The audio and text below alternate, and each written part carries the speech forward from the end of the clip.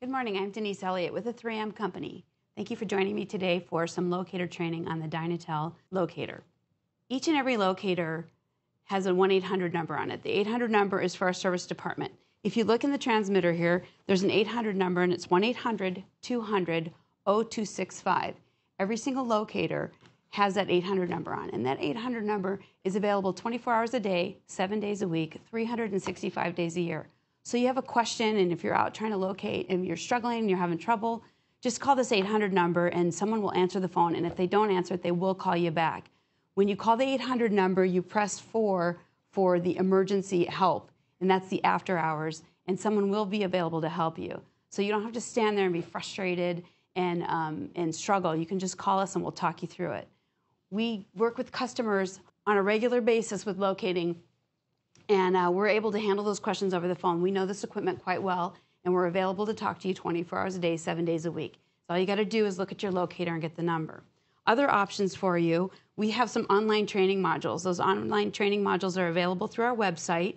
And also, if you uh, Google in or YouTube uh, your your model number, so you take the model number off your locator and you uh, put that into Google or to a search engine, you will come up with uh, the module, the training modules that go along with your locator that, that 3M did. I don't know how they get there, but they got there. Another option we have is we have distributors that are, that are factory trained and are able to do the training, the locator training for you. So you can contact your 3M representative or your local distribution for a, a training class through the distributor. Another option for you would be to come up to Austin, Texas. We do training classes four times a year, if you go onto our website, you can see when the next coming class is, and you can register for that on that class in person. It's a two-day class, and you let the instructor know kind of what you're interested in and what you're trying to learn, and we can kind of tailor the, the class to the folks that are attending. And the final option is um, there's several companies throughout the uh, U.S. that provide locator training. Staking U is one that I've worked with. Um, they offer two-day and four-day classes. They go to different parts of the, the country and do training classes, or their headquarters is in Manteno, Illinois. That's an option too. If you need if you need your folks to learn how to train how to locate, you're better off going to a, uh, a training academy for that type of training, where our class training is more just about the locator itself. So let's get started. I like to get everyone a little level set on what's going on in locating. I think we all have different ideas of what's happening in locating. So if you look at the screen here, Basically, what we do is we have a transmitter. The transmitter is like a power plant. That transmitter is going to send out that signal and it wants that signal back. So, the transmitter, you hook onto your target cable. Your target cable is the cable that you're trying to locate. So, you clip onto your target cable, and your transmitter will send out an AC current, an alternating current. That alternating current will create a magnetic field that travels down your target cable, goes to your far end ground, and travels through the earth or through the dirt back to your ground rod and from your ground rod back to your transmitter. And this creates that circuit. And that circuit is what we're locating on. We're actually locating that magnetic field. So if you look at the blue box next to me, there's rings around that magnetic field. So I'm going to go to the next slide here. So if you look at the this this is the front end view. This is the front end view of that magnetic field and you see that red dot is your target cable. If we were to take a um, and, and, number these one, two, three, four, five, six, and at the top here, number them one, two, three, four, five, six. Based on what we know about electricity, electricity goes the path of least resistance. When electricity, or like water, comes to a T in the road, 50% goes right and 50% goes left. So, based on what we know about electricity and the way it attenuates or dissipates, we stick the locator in this magnetic field and we look at the signal with this antenna and then we look at the signal with this antenna and based on the way the signal attenuates there's a mathematical formula in the receiver that says this cable is three feet two inches down. So what happens in a, in a perfect world with a nice round magnetic field is very simple to locate. But what happens is other folks come into the trench with you. You know, you're a gas company and then the power company comes in, the cable television people come in, the water, the sewer come in. And what happens is you get multiple cables in the ground. So if you'll take a look at the, the slide again with the green ring, you see that another cable has come into the area. So what happens is that nice round signal that we look for with the magnetic field becomes distorted. And so that it, there's not a clear round circle for the, the locator to figure out where exactly your cable is. So the piece of equipment, the locator, and the person becomes confused because you will get readings on both of these cables. You'll get noise over them. And so part of locator training is really kind of understanding when you have a distorted field and how to mitigate that.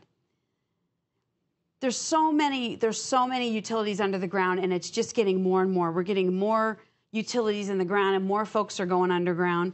You have your sewer, your water, you know, phone lines, gas lines. We have cable for uh, the dog, the dog fences. You know, the electronic fences, sprinkler systems. You have this all underground, and so at the end of the day, this is what the locator sees. This is what the piece of equipment sees. It sees this distorted signal, and so training is about how do we find that target cable and mitigate some of that distorted signal and, and, and truly locate what we came out to locate that day. Different things can cause distorted signal, but at the end of the day, that's what's happening is you have that distorted signal. That's what the locator sees. So we're going to talk about that today. So here's an agenda of what we're going to go over today.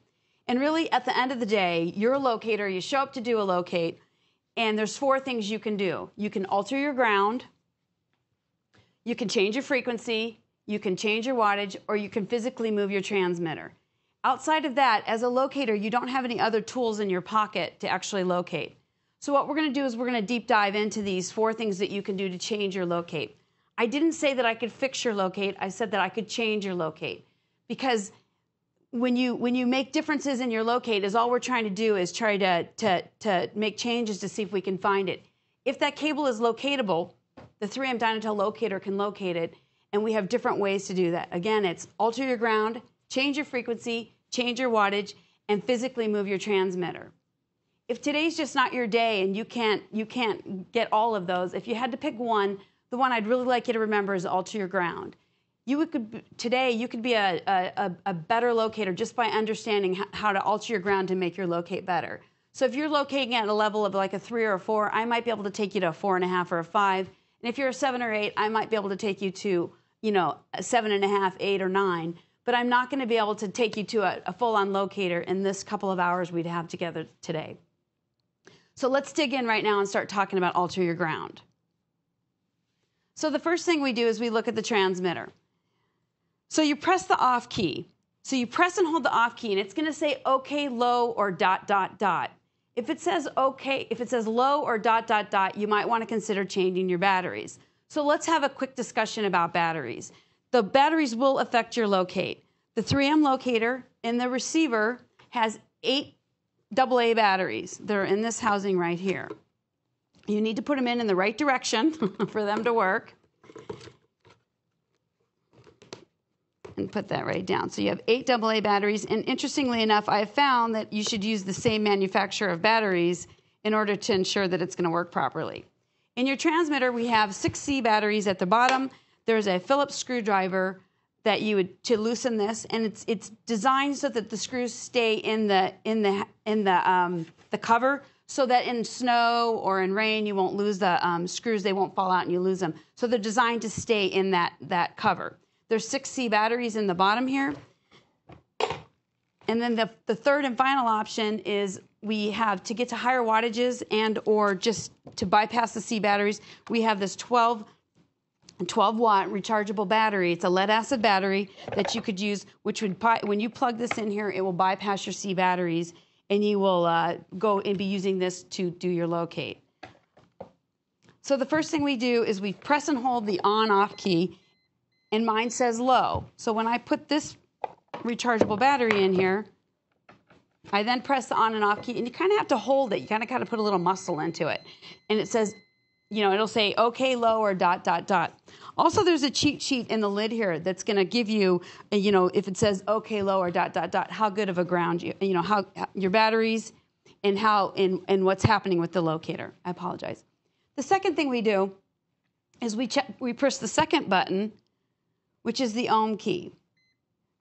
So if you look at the screen over here, and you have the first the first button here is we press and hold the on off key, and it says okay low or dot dot dot.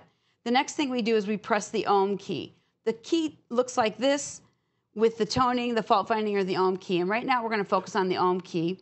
So what we do is we press the ohm key, and it puts a little, so what it does is it moves the flag over here, and there's a little ohm key, and now a flag shows up right in the ohm screen. And it's going to give you an ohm reading of between about a 0 and a 10. It's going to be a, a 0, between a 0 and a 10. And what this is, is ohm is a measure of resistance. So based on what your ohm is, is kind of how we set our frequency. So let's talk about that. The resistance. I want to talk about resistance. So if you think of like a river of water and you think of a rock in the middle of that river, the bigger the rock, the more resistance. That rock is your resistance. So the bigger the rock, the more resistance. So if you have a rocky soil sand condition, sandy condition, the signal is your signal that you're sending through that alternating current is going to struggle to get through the rock and the soil. So we might have to use a higher frequency. I've created this cheat sheet that says based on the frequency that you that you based on the ohm reading you select your frequency. This is a small little one. I made it homemade. It's got um, my tech service and my phone number at the bottom, and it fits right in your transmitter. It's a good little cheat sheet to keep in there. If you need these, we can get these for you. So the first thing you do is you check your ohm. So I'm going to come over here and say, all right, we checked our ohm, we, we, we checked our battery, we checked, we pressed the ohm key, and it came up with 8K. If you look at your cheat sheet, your cheat sheet's going to say based on an 8K, you'd use a frequency of 33K. So what could we do? Let's just think about ohm and let's think about conducting electricity. How could we better conduct the electricity to get that ohm key to uh, to get the ohm reading to like a zero, one, or 2, a more respectable range for locating. So we, there's different things we can do, um, you know, and, and let's just talk through them. So one thing we could do is everybody says let's use more metal. um, if you didn't call 811 and you didn't call before you dig, I don't want you sticking a big ground rod in the ground with lots of metal and going really deep. You could p- potentially hit a cable below and someone could get hurt. And it's just not worth it to me because if you go from an 8K to a 6K, it's not a significant enough drop in the ohm reading for me to justify you hurting yourself. Because the main thing is at the end of the day, we all want you to get home to your families so don't just stick a ground rod, a big, huge ground rod in the ground as deep as you can to try to get more metal in there. It, it just, it's not safe and it's not worth it. So the next option would potentially be to use water. Water's a great one. Water's a great conductor of electricity. You can just pour, you know, your cup of coffee or some Gatorade over your ground rod, and just by adding water alone, you can get from that 8K down to the 2K, 2K, and that puts you in that respectable range of the 0, 1, and 2 to be able to use a lower frequency the final the final option and it's not the final option but it's an option is we recommend a shovel. The nice thing about the shovel is it has a nice wide blade. It's like a catcher's mitt for that signal coming through the dirt. And so by by clipping on your direct connect cables to that shovel you can clip right onto the shovel but you want to make sure you have metal to metal contact. So if your if your shovel has um, paint on it or it's corroded you may want to have to dig it around or some folks will take like a wire brush and scrub it. But you clip this right on to your to your shovel and then use the shovel as your ground rod. Why I personally like the shovel is because it's got that little lip and I don't have the body strength that a lot of folks do to locate. So I can get over the top of that shovel and push my ground rod in maybe a drier condition where I need to get down in there. And everybody has a shovel on the truck, so it's perfect. So let's talk more about altering your ground. So I'm to I'm to draw a couple pictures here for you because altering your ground is more than just adding water and using a shovel. So here's the house we're trying to locate. I am a great drawer. That's my target cable. Here's my far end ground. Here's my transmitter, which is clipped onto the house, and here's my ground rod. Okay? So what happens is the signal travels down through the target cable to the far end ground. I'll put my far end ground up here. Here's my far end ground. Travels to the far end ground, and then it travels through the earth, and it's it's connected to it, it. It's being drawn to the ground rod, and the ground rod will take it from the ground rod back to the transmitter to create that circuit. That's a nice, perfect signal. If the ground rod is uh, if, if if you have another line in the in, in the way here, so now you have another utility in the in the joint trench area what could you do to, to remove this? This is my target cable here in the center. And what I want to do is I don't want to see that cable anymore because it's causing that distorted signal that we talked about. What I can do is I can physically move my ground rod to the other side. So I can physically move it so the signal is going to travel down through the cable, around back to the ground rod and come in this way, and it will make that cable disappear. That's what we talk about, like when we're looking at different ways to uh, to to get that signal around, and so it's easy to locate. Another situation occurs where we can have another competing. Now I've just made it more difficult, and I've added another one, and I have more cables in the ground. So from a setup perspective, personally, as me as a locator, if I get this situation where I I find out I have a distorted signal, and later in this discussion, we're going to talk about how we know there's a, a distorted signal. But if I have this distorted signal, the setup I'm going to always use is I'm going to call it special peak. I'm going to put it in 577, which is my lowest frequency, and I'm going to increase my wattage to 3 watt. So that's the setup that I use in this situation. But let's put that aside for a second. But that's kind of the setup I want you to kind of remember. Um, but we're going to come back to that. But if I have a situation here, what I want to show you here is let's say this cable is the most important cable in your network and you need to find this, this, this pipe or this cable. Let's just say it's the 911 line to the city. And if, if, if this gets cut, people won't get help that they need. It's the most important line, it's a high profile line. I never said that you couldn't create that circuit above the ground. So what you could do is you could take your ground rod and move your ground rod down to the bottom here, and so that your far end from your far end ground to the to the um, ground rod is a very short distance it has to travel. And then what you could do is just jumper this above the earth with you know a tracer wire or a, a you know a speaker wire, some sort of cable just to conduct it above the earth.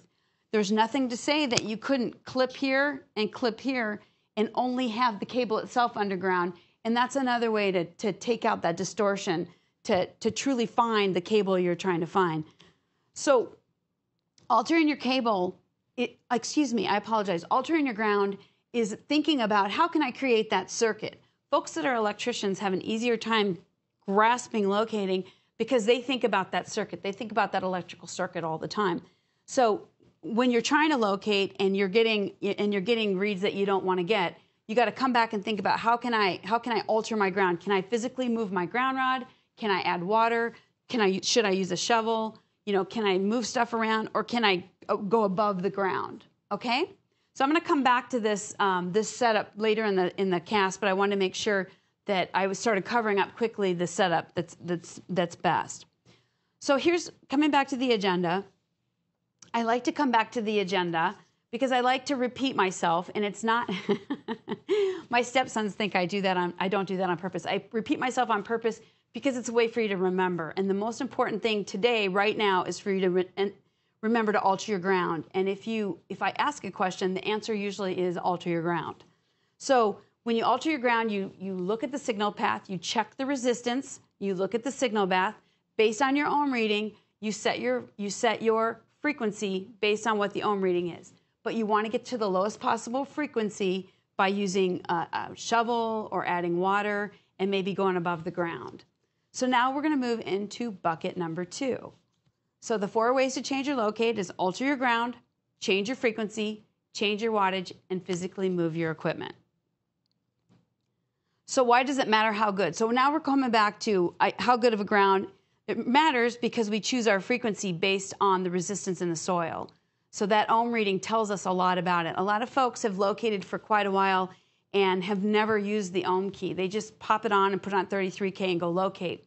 And that's fine if you you uh, if you're having no trouble. What we're talking about today is really troubleshooting. If you're comfortable at 33K and you can locate at 33K, then that's fine. But what we're talking about today, I'm not going to change who you are as a locator, but I'm going to give you some troubleshooting tips.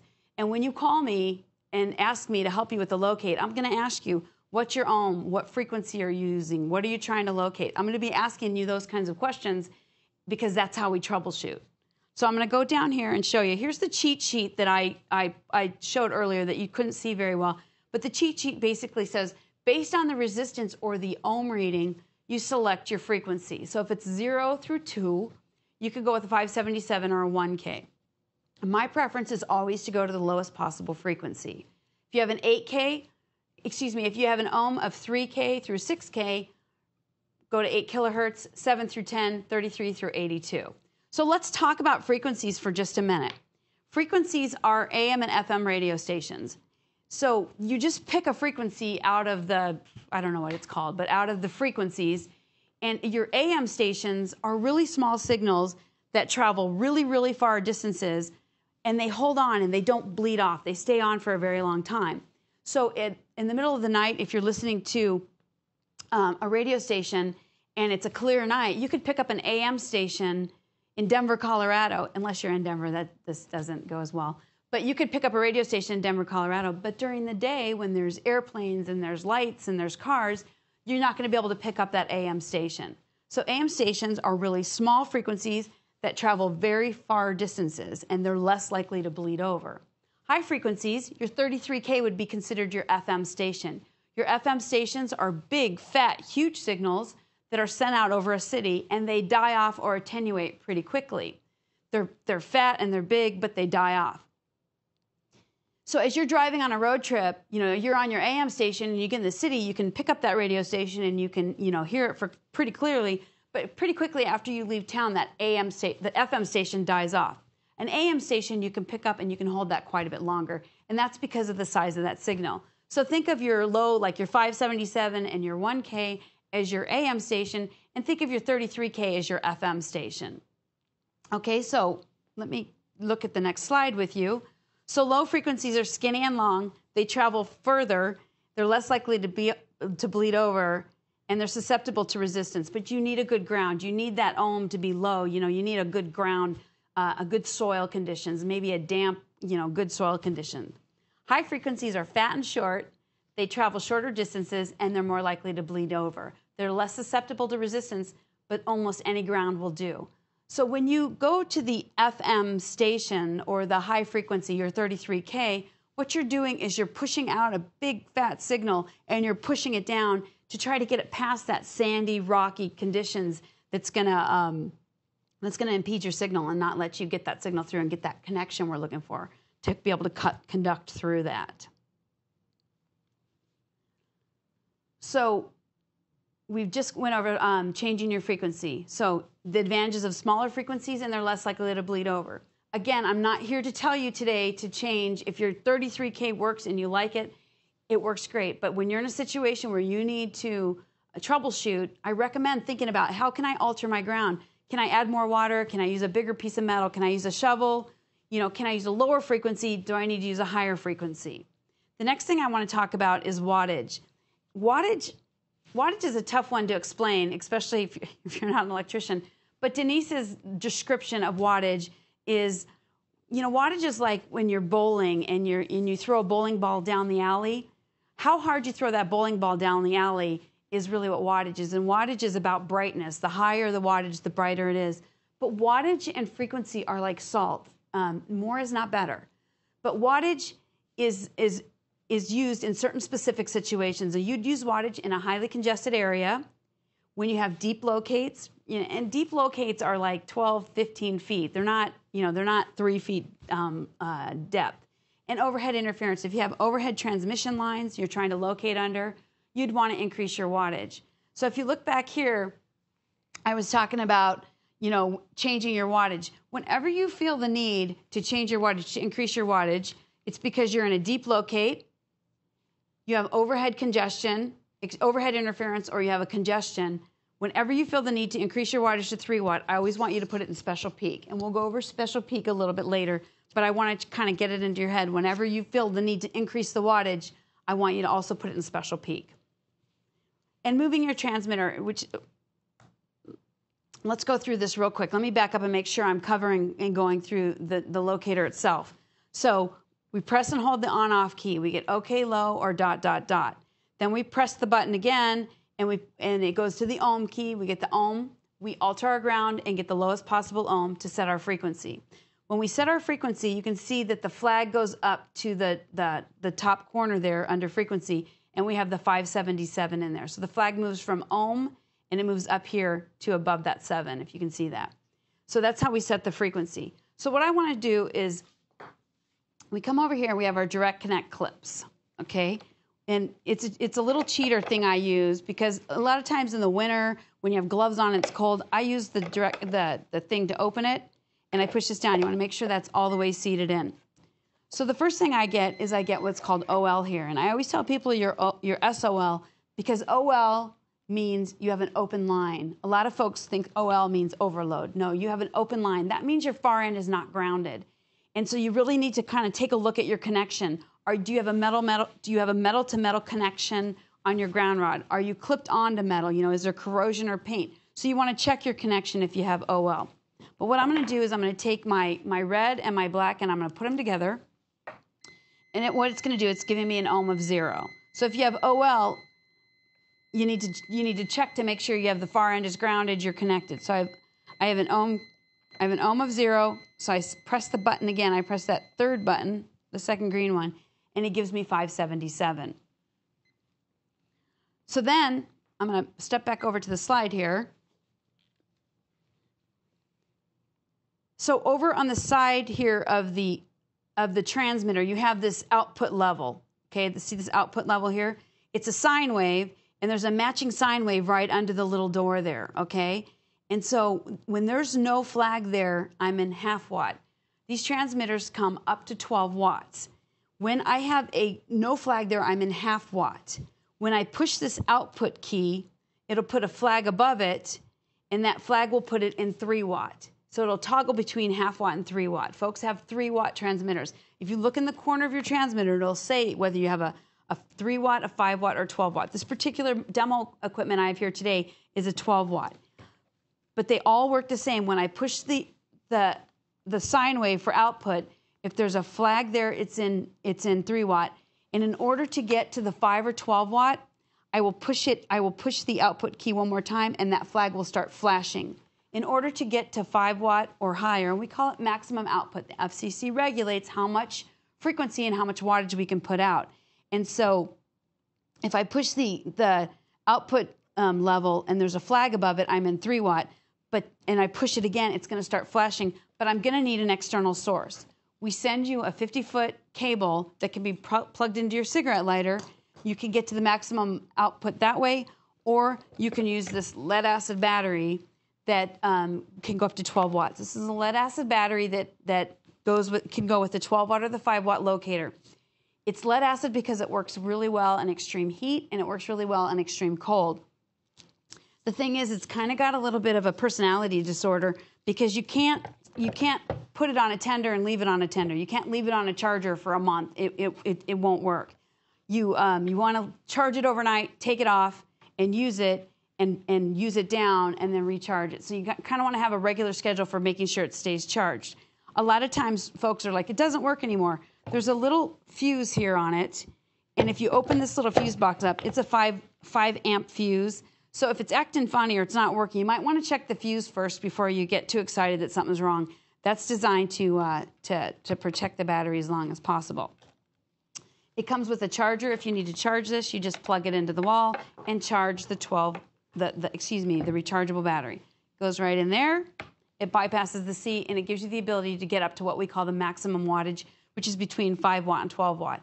But again, we're regulated by the FCC of how much we can put out. So there's software in here that'll automatically regulate that for you.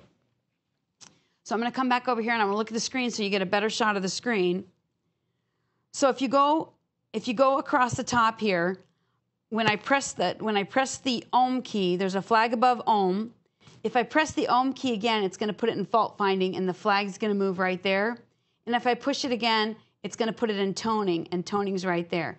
And so that, that button right next to the off button can do all three. Some of you have locators that don't have fault finding in them. So you may just have the ohm key or you may have the ohm and the tone key. But then it, w- it wouldn't be able, it would just toggle between ohm and toning or just stay at ohm depending on what model you have. We have several models out there. I want to explain what toning is, um, really more for just for just your purposes, because I like I don't like to have buttons on something and I not know what that button means. Toning is an old telephone term when you have a bundle of like copper wire, you have a bundle of wire, and you're in a subdivision you want to know which is which. You can tone one of the cables and then tone it on the other side and you can say okay this is cable you know address 123 this is address 123 and you can identify them.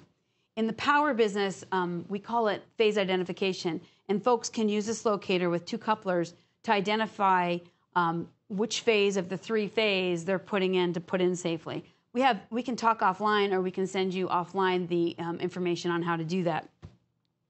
So you go across the top of the screen here on the locator, and you have fault finding and then toning. And then when you put it, when you press the, the third button, which says trace right above it, if you see that word trace there, you push that button, it'll go to 577 and the flag will jump right there above 577. With the 577, there's a number flashing behind it. And it's usually, if I put these two together and clip these two together, that number flashing is usually 103. Um, and if I if I change the frequency and I put it in 1K or 8K, that that we call it the relative current. That relative current is going to change. We're going to come back to relative current. But if you're fi- if it's flashing 577 and low, that means you you have an open out, you have an OL, you have an open line. So if it says 577 low, you need to go and check your connection because you bypassed and you didn't check the ohm key. And if you didn't check the ohm key, you missed that it was an open line. And so 577, it'll flash a number behind it. See, like 577, it'll say 103 or 105 or 106. That's your relative current. I'm going to come back to relative current. Then let's go across the bottom. We have the output key. When we push the output key, it puts a flag above the output, and that puts it in half watt, three watt, or maximum wattage. And again, you need that, that external source to get to that. In between the ohm key and the sine wave is a V, and that V is for voltage. So if you look in the lid of your transmitter, and I'm going to read it because I don't have anyone here to read it for me. Check the voltage before connecting the transmitter. Voltage higher than 240 volts will damage the equipment. For standard you know, follow standard procedure for reducing voltage. So what I said was, if you didn't hear, is you can clip up to a live secondary up to 240 volts and not disconnect the power. So if you get a call, an 811 call, you need to go out and do a locate. You don't have to knock on the customer's door and say, hey, Mr. Customer, Mrs. Customer, I'm going to be disconnecting your power. We got to do a locate. You can clip onto a live secondary up to 240 volts and do a locate. and You can put an alternating current on a live secondary. But the main thing I want you to remember when doing that is you need to take this and you need to make sure this jack is seated all the way in. And then you can clip onto a live secondary with your red cable direct connect cable, and right above the V, it's going to tell you the voltage on that line. It's going to flash like 127, 129. So it's going to give you the voltage of that line. So I want to take one last look at this screen and make sure we don't have any questions and make sure. So it's a left to right sequence. We press and hold the on and off key. It says OK low or dot dot dot. If it's low or dot dot dot, I recommend changing the batteries, especially if it's a really cold day or a really hot day and you don't want to spend all day on your locate. The next thing you do is press the ohm key. A flag will appear above the ohm. It's going to say oh, OL. You need to check to make sure you have the connection. You need to make sure that your far end is grounded. You get the connection, it's going to give you an ohm re reading. Based on the ohm reading, you either set your frequency or you alter your ground. I told you that was the answer to a lot of my questions, is alter your ground. Once you get to a respectable ohm reading, you put it in the, the frequency based on the cheat sheet provided and then you you you leave your your output, you leave your wattage alone unless you come to a situation where you have a distorted signal and you're in a deep locate, a congested locate, or overhead congestion. You then change your wattage. This slide here, what I want to show you on this slide here is the all button. And a lot of people love all. what all does is all sends out four frequencies at the same time. So it sends out 577, 8K, 33K, and 200K. It sends them all out at the same time. Using the all button, what it does is each one is sending out four frequencies, but you've just reduced your power on each one by 75%. So you're only running 25% of your power on 577, 25% of your power on 1K, you know, on, on uh, 8K, 33K, and 200K. The all button will prematurely wear out your batteries, but what it was designed to do is if you get far away and you can't find your cable anymore, you can change frequencies which, without walking all the way back to the transmitter. The problem with that, and I would respectfully push back, that if you are, you know, a block or two blocks away from your locate and you lose your line, I think it's more, it's not so much about changing frequencies as much as really spending the time on the setup. For locating, you know, you're, in a big rush, it's really hot, it's really cold, you got a bunch of locates to do that day, so you want to rush through. So you're going to jump in, put it in 33K, and you're going to locate. You're going to get three blocks away, and you're going to lose it. I really want you to challenge you, to challenge yourself, to go back and go through the steps. Check your battery. If your battery is low, you're going to struggle. You know, sometimes you know, folks call me and they go, something's wrong with the locator or something's wrong with the person carrying the locator, the locator. And I say, change your batteries and call me back. I can't tell you how many times I've had to go out and change batteries for customers. People send their locators back to 3M all the time to the repair center to change the batteries. We really recommend that you check, change your batteries before you send it back to us with a problem. It's too expensive for us to change your batteries for you. So, um, check your battery, check your ohm. You're going to know right off the bat if you don't even have the connection. You could have broken tracer wire if you're locating a tracer wire. You know, that OL is going to tell you a lot about it and get you back troubleshooting and fixing whatever's going on before you get started. Set your ohm key, check your ohm key, set your frequency, and set your wattage. So take the time up front, and then you won't be two to three blocks away and lose your cable and have to switch frequencies to find it. A better use of the all key for those of you that are more advanced in locating, one of my coworkers teaches, he puts it in all, and when he does his doggone on the chain sweep, which we'll go over um, when we get to the receiver, he looks, he locates the line in all of his frequencies and figure out which gives him the best, loudest decibel and the best connection. He'll lock it in on the transmitter and he'll lock it in on the receiver and go locate using that frequency. My preference is to go with the lowest possible frequency based on your ohm. So the fourth and final bucket is move your transmitter or physically move your equipment, I like to say. So when you locate and you're and you and you struggle to find it, it's easier to find the locate when it's not congested. So what I would do is kind of lift your head up and look around and see where the natural ending point of your locate is. So let's just say for instance you're locating telephone.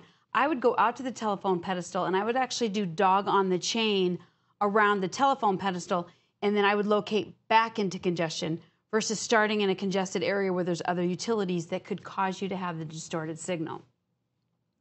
So we've reviewed the transmitter, and really the the the, the main thing I want to focus on is those four buckets because I, I remember things in buckets. And so when I go out to demonstrate a locator, I go out to do a locate, and I struggle. My troubleshooting, my personal troubleshooting, is I go through these four buckets. I kind of step away from everybody and I say, okay, Denise, what can I do to alter my ground? Can I add water? You know, can I use a, a shovel? Can I move my ground rod? What can I do to alter my ground to make sure I get a good signal path through?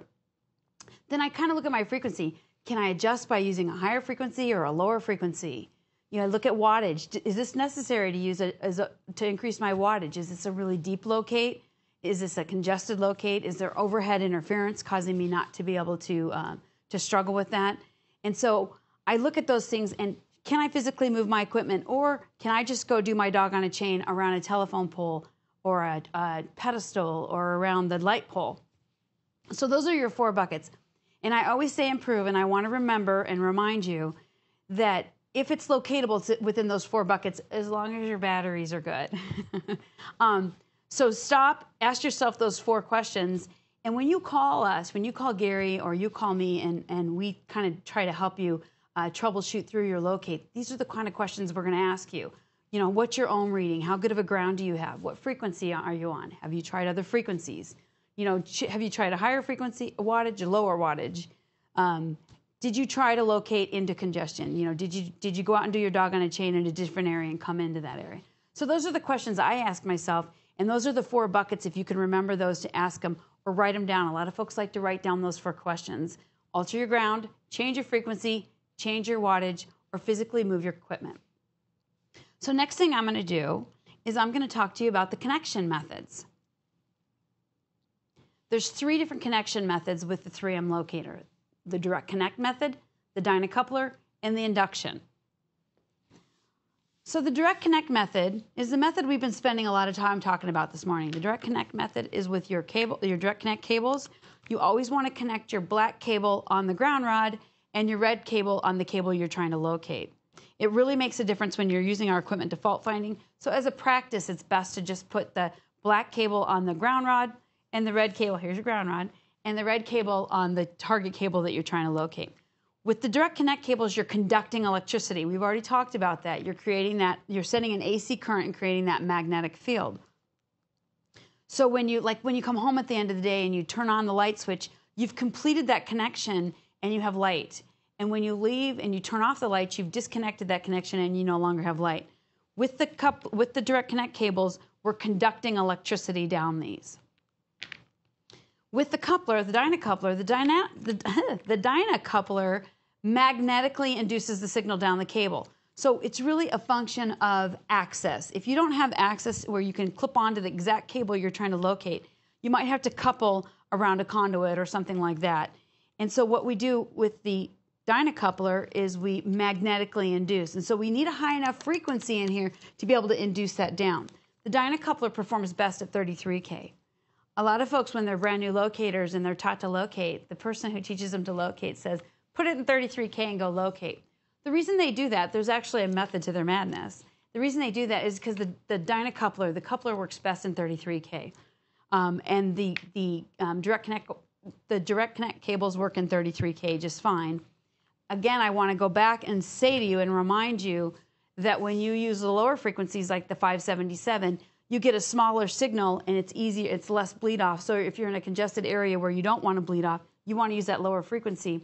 But as far as the the attenuation or the signal dying off, 33k on a when you go out to do a, locate at a house, you're not gonna you're not gonna um, attenuate your signal. You're not gonna die off um, with 33k. you you'll be able to do you know a residential locate quite easy. So you know I take I, I say the coupler performs best in 33k. A lot of folks use 33k for both this module and what we're talking about today is really about troubleshooting. You know, it's about um, what what to do if you can't find it, if you're struggling to find it. And that's when we start using lower frequencies and different wattages and things like that. As far as button pushing, I'm going to reach back out and push you back to the online training modules. The, the online training modules are about 10 minutes and they really help you with the button pushing. I'm trying to help you understand what's happening with the locator so that you can troubleshoot. But if you kind of forget what buttons to push, you can watch that 10 minute video to get you back um, acquainted with that. So now we're going to talk about the third connection method, which is the induction method. And that's, again, an access point. If you don't have a place, a lot of folks that are doing water, sewer locates, or pipeline, oil, and gas locates, they don't have the ability to, you know, to actually clip on. And so what they do is they induce, pardon me, we have an induction coil here down in the, um, going down the back of the, um, the transmitter. What you do is you lay the transmitter on your last known spot, the last spot that you knew for sure that you had the line, you would lay the box on the ground and you would you would not connect it with the direct connect or with the coupler connection. Here, let me show you this. You wouldn't use these into the jack, you would leave the jack. So if the jack has nothing in it, then you're automatically in induction. You put it at like a higher frequency and it's going to induce out. So it kind of sends a signal out like a flashlight.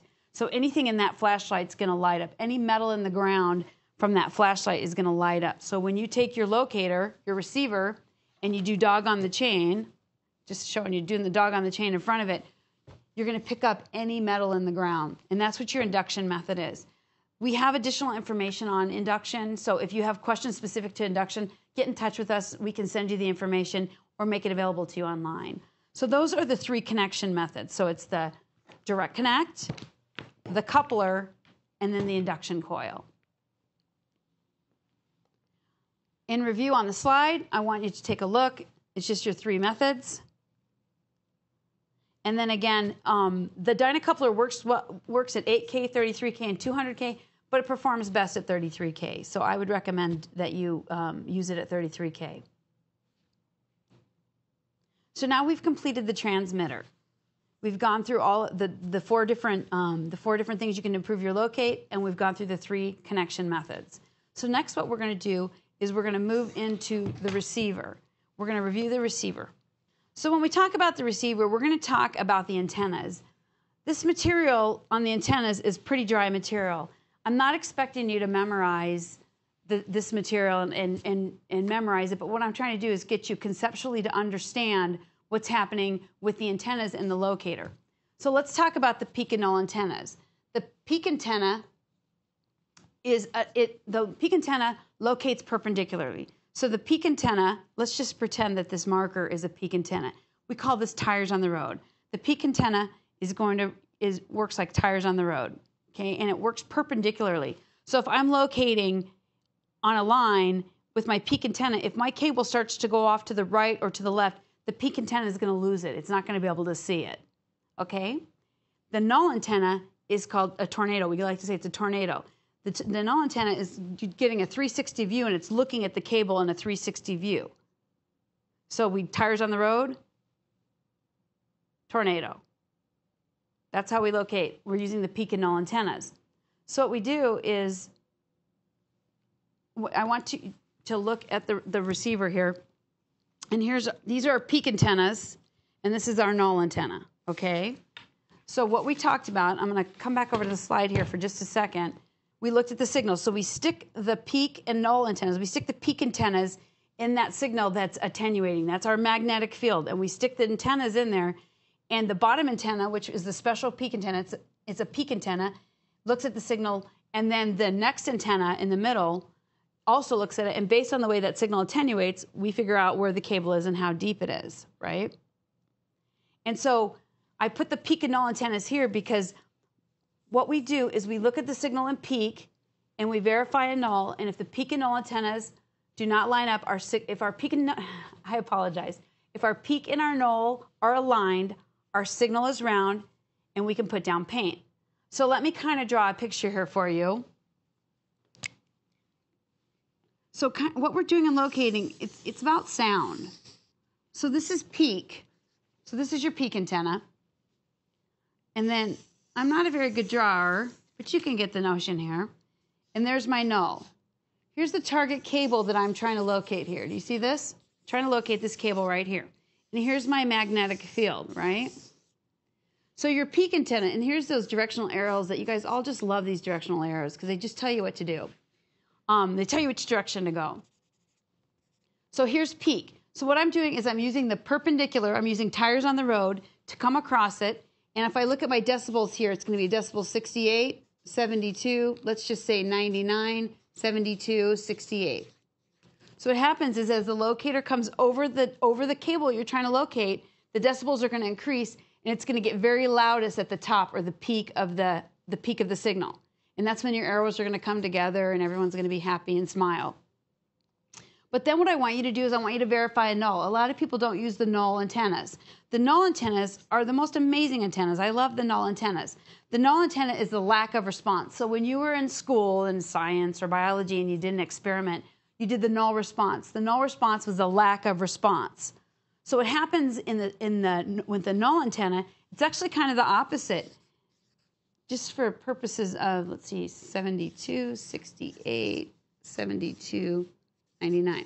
It's really, it's really actually goes down to zero. I apologize. The null response is the lack of response. So I look in the peak antennas and I verify a null. If my peak and null are in alignment, my signal is round and I can put down paint. Okay? And so this is the perfect world. This null antenna, when they first invented locators, when they first invented locators, they actually started with null null antennas. And what the null antenna does is it spins around in a circle and it looks at the cable 360. And so when folks would locate, they would take the receiver and they would run it across the signal and go no, noise, noise, noise, quiet, noise, noise, noise. Well, I think the human brain just can't get around the fact that there's no noise, therefore there's a cable there. So then they introduced the peak antenna and they said, okay, it's quiet, louder, louder, loudest, louder, louder, you know, quiet. It's a bell shaped curve, and that the loudest point is the peak or the center of the cable. And so the, the brain can get around that. But over the time, it feels like people have gotten away from the null antenna. And the null antenna is a great tool, and it really helps you confirm your accuracy. So what we do is we we locate and peak and we verify a null. And so we cross it and peak, and then I put my foot on the ground right where I find peak, and then I put it null and I locate and peak and make sure my peak and null are in alignment. If my peak and null are not in alignment, what do I do? I alter my ground. So let's take a look. Let's get back on the screen here. And in this particular screen here, this is where my peak and null are not in alignment. My signal is not round and I cannot put down paint. So I need to go back to the drawing board and alter my ground, change my frequency, change my wattage, or physically move my equipment. So this is kind of the slide that I drew on the on the the uh, board. But as you can see, one of the one of the downsides of, of null is that you're going to get a null here, a null here, and a null here. So you're going to get a null response in all three of those. So it's going to be quiet, loud, loud, loud, quiet, loud, loud, loud, quiet. And so you want to use peak and null together. At the end of the day, Peak looks at the top of the signal, null looks at the bottom of the signal. If they're in alignment, your signal is round and you can put down paint.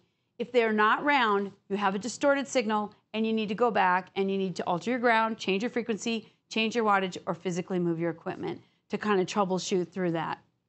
So I'm going to show you the next screen here. As you can see, the locator's in peak, and it's got a decibel of 73. 577 is your frequency, directional peak, and then there's the, uh, the 97 decibel. If you look at the screen next to it, it's null, it's looking at the bottom. And you can see that arrow there. That arrow there is like a compass. It's looking, it's looking 360 for your cable.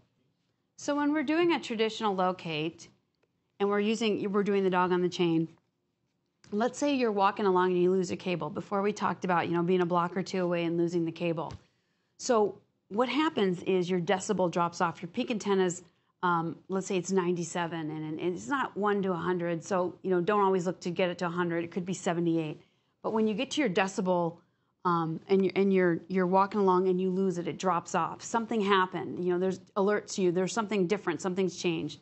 You know, I'm at 97, 96, 97, you know, you know 78 and it drops off to 22 you lost your cable what you do is you step back to the last time you actually had the cable and, and had and you knew the cable was there and you do another dog on the chain and you see did your cable go right did it jump is there a fault there and that you jumped the fault so you lost your signal or did it go left and once you find it you go there and you keep locating so the way to use the null antenna is to, you know, you're walking along and you're, you're, you're locating and locating 78, 82, 78, 82, 22, your signal drops off. What you do is you hit the null antenna and switch it to null, and I'll show you how to do that, but you switch it to null, and that null antenna is going to do that 360 view, and it's going to give you an arrow and say, hey, dummy, your, your cable went that way. You come over here, you find it, you keep locating. So the null antenna, you know, a lot of folks just, just don't use the null antenna and it really gives you confidence in your locate. You know, when you put down paint in a locate, you're you're you're putting down you're, you're putting down that that's safe to dig. And again, I go back to safety. When I think about locating, it's safety and it's about making sure if I put down paint, I have a high degree of confidence that I'm on there. So before you put down paint, I'm gonna I'm gonna check my depth. I'm gonna check my current, which we're gonna get back to, and I'm going to uh, check my peak and my null. I want to make sure my peak and my null are in alignment. My depth is about right, and that uh, my relative current's within 12 points of the transmitter, which we will come back to, but I want to make sure we get the peak and null down. So don't don't um, don't don't miss the use of that null because it's going to give you a lot more confidence in your locate because it's going to give you an arrow to go that direction. And when you pick it up, it's it's actually if you look at the the screen, it's going to go to the highest number. But a lot of folks just focus on that arrow in the middle and then it lines right back up. So we're talking about peak antennas. A peak antenna, a peak is a peak is a peak. So what I'm going to do right now is talk about special peak. Earlier in our discussion, we talked about a setup using special peak. What special peak does is special peak turns off all the antennas except the very bottom antenna. And this is used when you have deep locates, congested areas, or overhead congestion, like overhead power lines that you're trying to locate through. So if we could um, if we could come back here, we talked we talked um, earlier in the in the broadcast about the, the best setup. That when you felt the need to increase the wattage, I wanted you to put it in special peak. So special peak, what it does is it turns off all the antennas except this bottom antenna, so it gives you a straight shot in the ground. And this is a really nice feature that uh, I don't think it's utilized enough. So I challenge you to go out and test your locator and, and use use special peak and see what it does for you. When you use special peak, you're going to lose these. I know you guys love these directional arrows that tell you which direction to go, but you're going to lose those directional arrows when you go into special peak. And what you're going to be doing is just looking at the numbers. And truly, the numbers tell the story. But if you can get used to it, um, it's it, you you get a more accurate locate. Um, it's just it feels more. It's a more accurate, a more precise. It's clean when you cross over peak with the special peak because it's turning off all those additional antennas.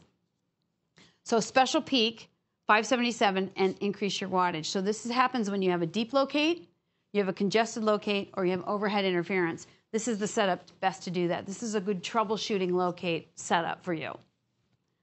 So I just wanted to show you that we have directional peak, directional null, special peak. If you see right above the, the mode where it says special peak, and then right above bone, and the next one it says um, induction peak.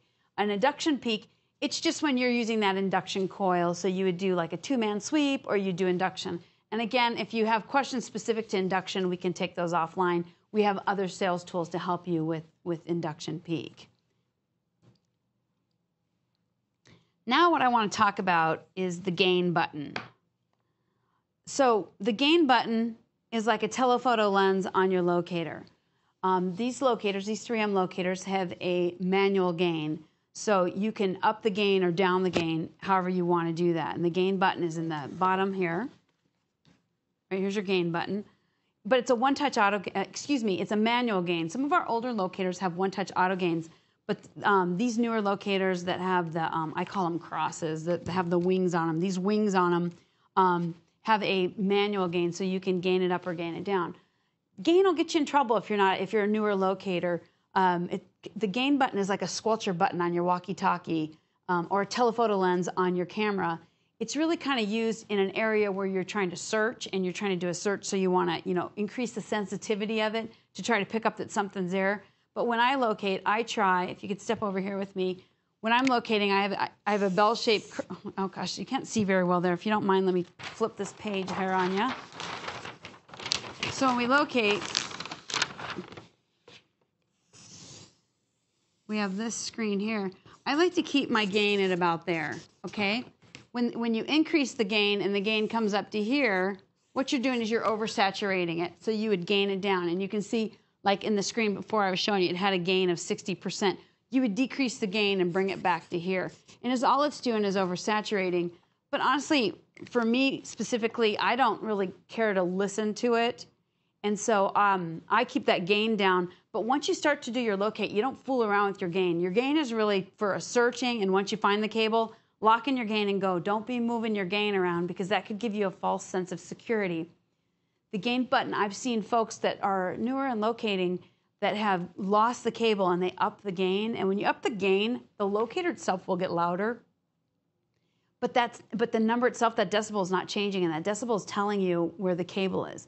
The the higher the decibel, the, the shallower the cable is too. So you can tell how shallow or, or deep a cable is based on that decibel.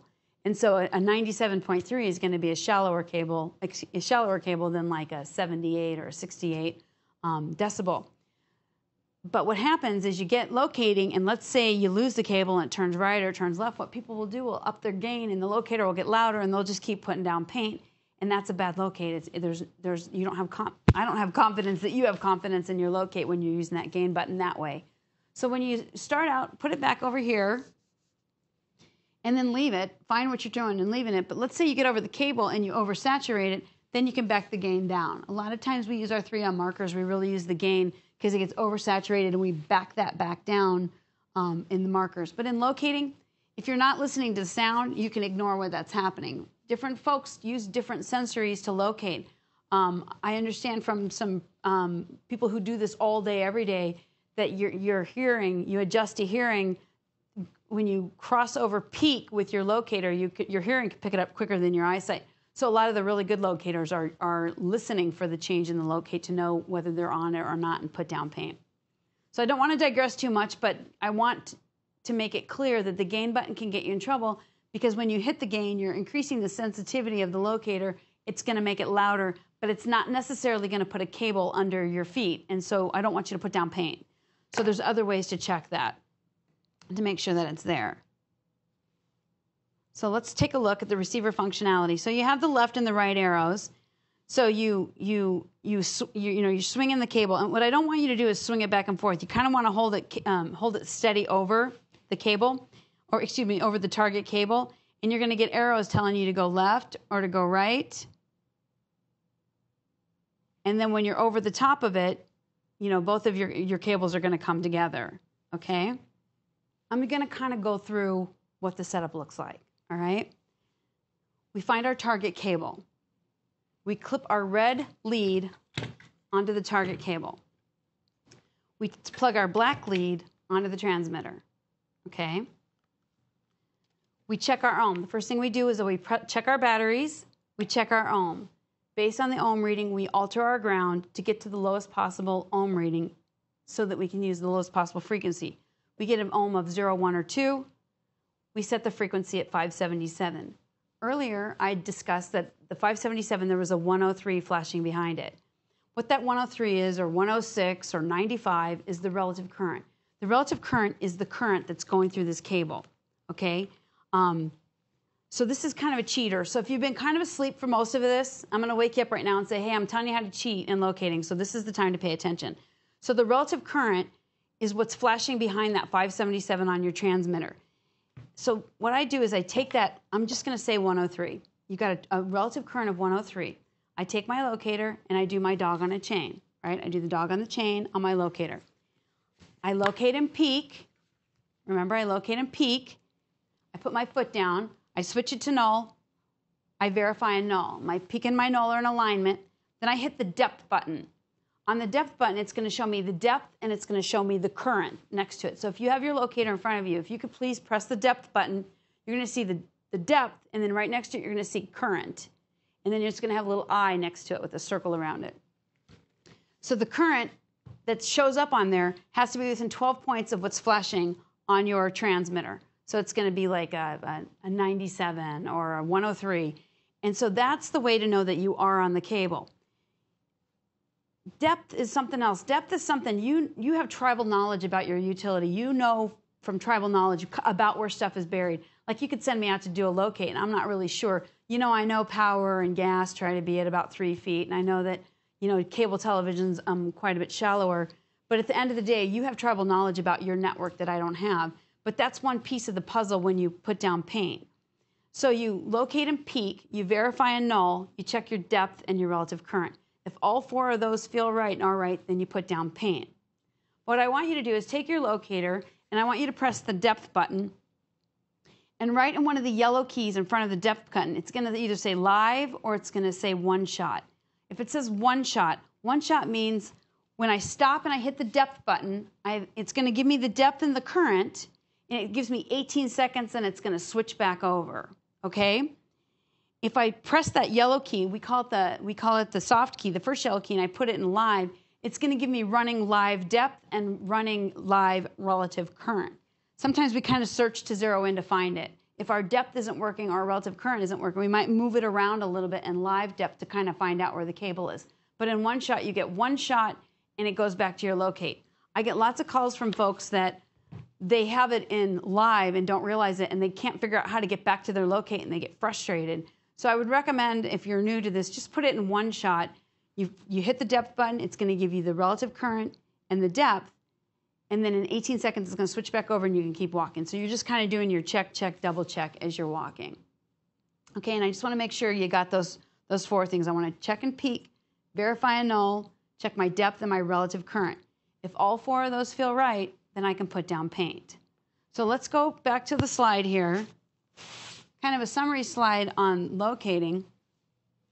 And it says, you know, look at the signal strength. You know, look at your bar graph. Make sure your bar graph is coming up. You know, are your directional arrows over the top of it? You know, you paint and peak, but verify and null. so now I'm going to move into the receiver operations. So if you look at it, and you know, we have newer models that are a little bit different, but they should be pretty easy to kind of tell the difference. Um, in the 2273, we have the con- the 2200 series. We have the contrast button there. In the newer models, the 7000 series and the 2500 series, we've buried the contrast into the into the menu. It's got the backlight, the light to turn it on, the on-off button, the volume button, the menu button, and then the gain. We've already reviewed the gain. We've already reviewed the locate. You know, the OK to locate is just is getting started. So kind of take a look at those and make sure you're comfortable with all those because we've reviewed those. Now what I want to do is move to the next slide. Those yellow keys we call soft keys. That's the stuff that I had just mentioned that we have the soft key there. And so it's in 577. And, and then it's in directional peak. And there's my depth.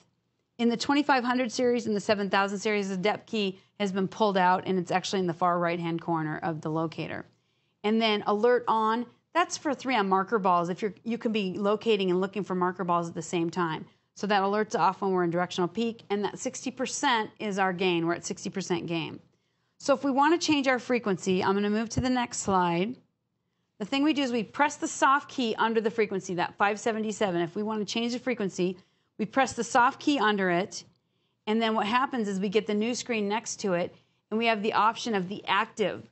Putting the 577, 1K, 8K, 82K, 200K, putting that frequency on a line is you're actively you're actively putting a magnetic field on that line. The other way other way to locate is in passive 60 hertz. So that sec second button that says power, that's 60 hertz power. So you're looking for the harmonics of 60 in the ground. So for instance, um, in the United States, we do the harmonics of 60. So it's 60, 120, 180, 240. So anything divisible by 60 is locatable in that 60. We have 60, 60 high, and 60 low, which are just the different harmonics of 60. And, and for those of you who use it, I know you know what I'm talking about. But we do the sweep in 60, 60 high, and 60 low. We do our dog on the chain in all three of them to figure out which is the best one, which gives us the loudest decibel, and then we lock in on that 60, 60 high, or 60 low. But that's a passive locate. We call that passive because we're not using the transmitter. We're only using the receiver to locate in the harmonics of 60. So if I can come back to the screen, when I press that second key under the word power, whatever's highlighted when I hit OK is the screen that I'm going to be in. And so you press the, the first yellow key, it says 577, you press that key, and then it's going to give you that new screen, and then you can either press 577 below it and it'll scroll through all your frequencies, or you can press the second button, which will put it in 60, 60 high, or 60 low. You can lock that in and say OK, and then the screen will show up in the new frequency. If you take a look at the video, the online video, it'll show you how to do that. So this is just a screen showing you showing you null, and I said verify null. And this is what it looks like: is that arrow goes to straight up and down when you're null, when you're, you have a lack of response. So it's going to give you a compass. It's going to do that 360 going back and going around um, in the null response. I'm going to skip over the induction. We've talked about induction again. I think that's something we would want to talk offline about because that's a little bit more in-depth discussion. And I wanted to try to keep this short and really to the, the, the folks that use the majority of the functionality. So we talked about the receiver. We talked about the depth and the relative current. We talked about the importance of matching the current to the transmitter. Whatever's flashing on the transmitter, we want to be within 12 points of the cable that we located in the ground. If we're not within 12 points of the cable in the ground, our current, when we hit the depth button, our relative current and what's flashing on the transmitter, we need to go back. We need to do a sweep we need to look at altering our ground, changing our frequency. We need to find the cable either by doing the dog on the chain and seeing where it went or going back to our four buckets. We use our peak and L antennas. We look at the signal strength and we don't want to abuse gain. We want to be really careful about gain. We don't want to oversaturate the signal. We want to keep the gain button back down a little bit. So I got a little quiz for you, but since you can't answer me, I'm going to help you with the quiz. So I'm showing you a screen now, and I'm not telling you what utility you work for, but I'm going to ask you what, you know, what's your target cable? Is it the red or the green? And I'm hoping that you're saying, well, Denise, you're not giving me enough information. I need more information. So I'm going to give you a little bit more information to answer this quiz. So I'm going to let you look at the screen. So I have two different cables in the ground, and I'm getting two different readings. I'm in 577, I'm in directional peak, and I have a decibel of 85, and I have a decibel of 97.3. Which one is my target cable? Again, I'm hoping that you're saying, scratching your head and saying, well, Denise, I still need more information. So we, brief, we briefly touched on this, so I really want to bring this point home. Is a shallower cable will have a stronger signal than that of a deeper cable. Check your depth and compare the line current with the relative current reading on your transmitter. So based on what we talked about. So decibel alone is not going to tell the story of which cable you're locating. You want to check your depth and your relative current to compare because you want your current to be within 12 points of what's flashing on your transmitter. I hope that makes sense. I'm going to switch to the next one. So now I'm giving you the information you needed. I had you press the depth key, and if you see the depth is 48 inches, and the relative current on the transmitter is flashing 87, and as you can see on the actual receiver, I'm looking at the relative current of 85. Now, I want to point out that under the 85 relative current on the receiver, there's a 29.30 MA, and that's milliamps. Some of um, some of the other locators in the old days, they used to do milliamps, and they used to do their dog on the chain and search for the highest milliamp. Um, we've put the milliamp below our relative current because some folks are more comfortable using milliamp, and that's just fine. But what we do with the current is we have the relationship between the transmitter and the receiver when we're doing dog on the chain to find the ground. So if you said that the red one was the target cable, you were right and you passed the test. So we're going to go into just a quick summary and we're almost there, tricks and tips, and then we'll send you on your way. So from the transmitter perspective, you want to check your battery. You want to hold the off button. Again, you got to hold it down a little bit. You know, don't be afraid to give it a little muscle. You want to check your battery. You want to connect to your target. You want to measure the resistance. That's that ohm reading. You want to measure the ohm reading. How good of an ohm reading do I have? How do I lower that ohm reading? You go back to alter your ground, change your frequency, change your wattage, and physically move your equipment. So when you're measuring your equipment, selecting your frequency and selecting your wattage. It's all part of the troubleshooting. But just to start out with, you're going to go 577, you know, you're going to, and you're going to do the lowest wattage. But then you're like, well, there's overhead congestion. You're sticking your head up and you're looking around and you're, you're saying, oh, you know what? There's going to be some overhead interference there. This is a really congested area. I see, I see meters, like I see a gas meter, I see a water meter, fire hydrants, you know, telephone pedestals. Um, you know, a, electronic dog fence. You have different things that are going to cause you to um, t- to have a bad read. And so what you want to do is then make the adjustment and put it in. I'm going to flip this back down for you. Special peak 577 or uh, 3 watt. Increase your wattage to 3 watt. That's that troubleshooting piece. On the receiver, we press um, cable pipe locate, select your frequency, which is your 577, 1K, 8K, 33K, 82K, or 200K. And or we could go into the passive modes, the 60, um, 60 high and 60 low. That was that first, that first yellow key. The second was select your antennas. Do I want to use my peak, my null, my special peak, or my induction peak? But remember, peak is peak is peak. They're all tires on the road, and null is your, is your um, tornado that's got that 360 view of the cable you know, um, detect your target path. You do your dog on the chain. Look for your highest signal. You locate and, and peak. You verify and null. You check your depth and your relative current. If all those feel good, you put down paint and you start your locate. To finish in your tips and tricks, improve your ground. Use a shovel. We went over that when we were trying to get that get that down to that zero, one, or two. Always use the lowest possible frequency. Lower frequencies are skinny and narrow and they travel far, far distances and they're less likely to bleed over. Beware of multiple access points. You know, take a look. Uh, there's common sense that I can't teach you. I can kind of teach you what the locator's telling you and kind of what's going on underground, but I can't teach you to lift up your head. What else is out there that's going to cause my, me to struggle with my locate? So take a look at that. Um, high profile cables locate from both ends. So locate it both directions to make sure, because that's an important. A high profile cable is, you know, a cable that could, if it if it was hit um, inadvertently, it could hurt someone. So you want to make sure you locate that from both directions and both ends and make sure you got it. Always verify a null. We talked a lot about null today. I challenge you to start using null if you're not already using it. Okay, and the next one is locate into congestion rather than out of congestion.